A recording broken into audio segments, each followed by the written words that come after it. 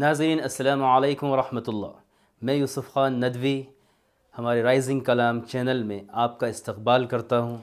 आज हम अपने इस चैनल पर एक नई सीरीज़ की शुरुआत करने जा रहे हैं। जैसा कि आप जानते हैं कि साइंस क्या है, साइंस ने क्या प्रोग्रेस की है, साइंस की मुख्तलिफ़ शाखें हैं, साइंस की डिफरेंट ब्रांचेज़ हैं। एस्ट्रोनॉमी है, एस्ट्रोलॉजी है, बायोलॉजी है, मेट्रोलॉजी है, जूलॉजी है फ़िज़िक्स है, केमिस्ट्री है, बोटनी है। इसी तरह से आप ये भी जानते हैं कि इस दुनिया में अनगिनत साइंटिस्ट आए। बड़े बड़े माहिर फ़न, मेडिकल साइंस में कमाल पैदा करने वाले साइंटिस्टों ने कदम रखा। और अभी भी इस दुनिया के अंदर बड़े बड़े साइंसदान मौजूद हैं। जैसा कि हमारे हिंदुस्तान में ए पी जे अब्दुल कलाम जैसे अजीम शान साइंटिस्ट ने जन्म लिया और हिंदुस्तान को जो तोहफ़ा दिया, वो नाकबिल फ़रामोश है। इसी तरह एक बड़े साइंटिस्ट के बारे में मैं आपको बताना चाहता हूँ कि जिनका नाम अबू बकर मोहम्मद ज़करिया राज़ी है। ये माहिर साइंटिस्ट ईरान के एक मशहूर शहर रे में पैदा हुए। सन 840 ईस्वी में इन्होंने जन्म लिया और यूरोप में आज भी इनको रेजस के नाम से जाना जाता है। इनकी जो इब्तदाई ज़िंदगी है, वो कुछ ख़ास नहीं थी।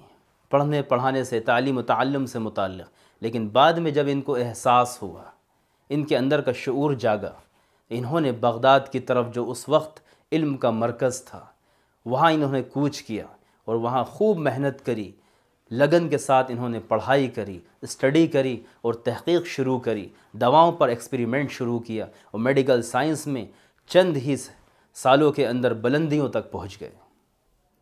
और सबसे पहला जो इनका कारनामा है, इनकी इलमी जो खदमात हैं, मेडिकल साइंस में जो इन्होंने प्रोग्रेस की और इस दुनिया को जो तोहफ़ा दिया है, वो सबसे पहला फ़र्स्ट एड है।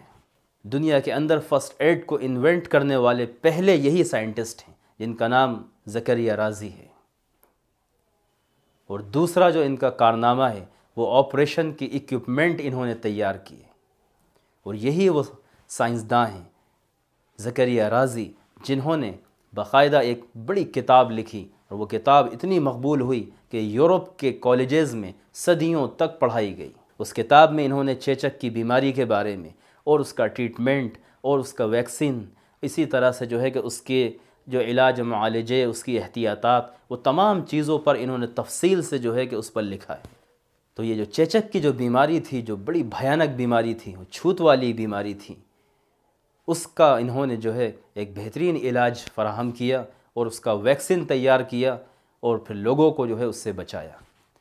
तो रहती दुनिया तक इनको याद किया जाएगा, इनके कारनामों को जो है सराहा जाएगा और इनकी जो काबिलियत और जो मेडिकल साइंस में इनकी जो प्रोग्रेस है, उसका अंदाज़ा आप इससे कर सकते हैं कि लंदन के अंदर एक इंटरनेशनल सेमिनार मुनद हुआ। 1913 ईस्वी में और उसमें इनकी शान में आर्टिकल्स पढ़े गए, जो इन्होंने कारनामे अंजाम दिए, जो तहकीक़ात की, जो दवाओं पर रिसर्च की, जो एक्सपेरिमेंट्स किए उस में जो है कि इनको खूब सराहा गया और उस जलसे के अंदर बैन अवी उस इजलास में इनको जो है अप्रिशिएट किया गया और फिर फ्रांस में भी कई साल तक इनकी बरसी मनाई गई। दुनिया कभी भी राज़ी को भूल नहीं सकती और उनके कारनामों को कभी फरामोश नहीं किया जा सकता। और रहती दुनिया तक उनको याद किया जाएगा।